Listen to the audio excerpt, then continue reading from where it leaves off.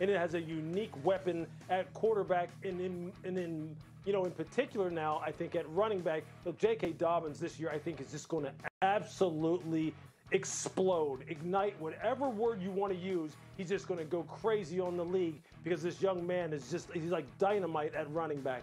So I think that's what ideally they want to be a team that doesn't get put into a box or that you can't put them into a box in terms of you know making them one dimensional. I think they're going to want to be a team that can just have the game be dictated by whatever is needed from them. And with the receivers that they've gotten, what people have said about how those receivers have looked when they've been on the practice field, I think they're well on their way to being that multiple type of offense that can dictate to you instead of you dictating to them. Rashod Bateman, they drafted in the first round. Sammy Watkins, they bring in there among some of the new weapons that we're talking about. Sacho, can Lamar Jackson return to MVP form this season? Absolutely. I believe that Lamar Jackson's going to be.